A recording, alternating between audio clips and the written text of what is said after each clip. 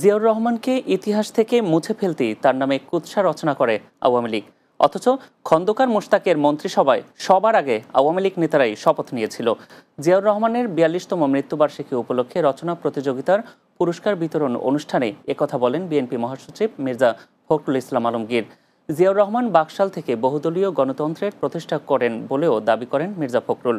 বলেন, জনগণের অধিকার হরণকারী এই সরকারের পতন এখন সময়ের দাবি।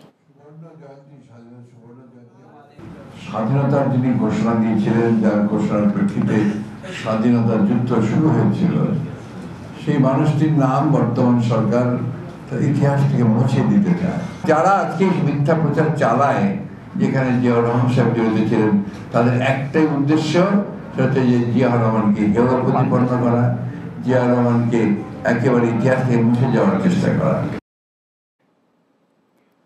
সরকারের পদত্যাগ ও নির্বাচনকালীন তত্ত্বাবধায়ক সরকারের এক দফা দাবিতে রাজধানী ঢাকা সহ দেশের মহানগরগুলোতে গণমিছিল করছে বিএনপি।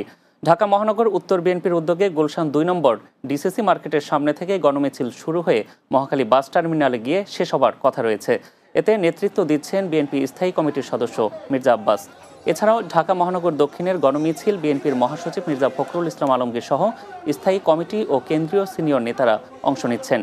দুপুরের পর থেকে এসব এলাকায় বিএনপির বিভিন্ন অঙ্গ ও সহযোগী সংগঠনের নেতাকর্মীরা কর্মসূচিতে যোগ দেন।